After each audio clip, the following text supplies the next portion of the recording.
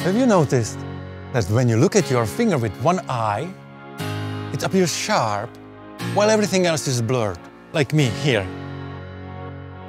But when your focus changes, you can see me. Hello. And the finger is blurred.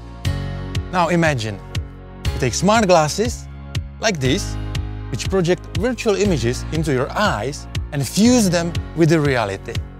Let's try that.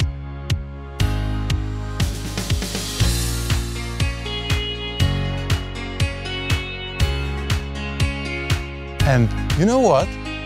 The virtual objects should blur in the same way like the real ones. They should, but they don't today. This is wrong. This is what leads to an eye strain, which you perhaps know from the virtual reality and maybe 3D cinema today. We make it right. We make glasses which project so-called light field Light field makes it right. Light field is the future of virtual reality.